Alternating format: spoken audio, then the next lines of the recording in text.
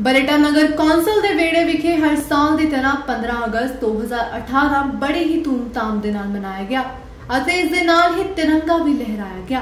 ਤਿਰੰਗੇ ਦੀ ਰਸਮ ਤੇ ਸਲਾਮੀ ਵਿਕਾਸ ਮਿੱਤਲ ਵਾਈਸ ਪ੍ਰਧਾਨ ਨਗਰ ਕੌਂਸਲ ਬਰੇਟਾ ਵੱਲੋਂ ਦਿੱਤੀ ਗਈ। ਬੱਚਿਆਂ ਨੇ ਰਾਸ਼ਟਰੀ ਗੀਤ ਗਾਏ। ਇਸ ਮੌਕੇ ਨਗਰ ਕੌਂਸਲ ਦੇ ਕਾਰਜ ਸਾਧਕ ਅਫਸਰ ਅਤੇ ਸਟਾਫ ਨੇ ਆਏ ਹੋਏ ਮਹਿਮਾਨਾਂ ਦਾ ਧੰਨਵਾਦ ਵੀ ਕੀਤਾ। ਬਰੇਟਾ ਤੋਂ ਜਗਦੀਸ਼ ਗੋਇਲ ਦੀ ਰਿਪੋਰਟ ਚੈਨਲ 2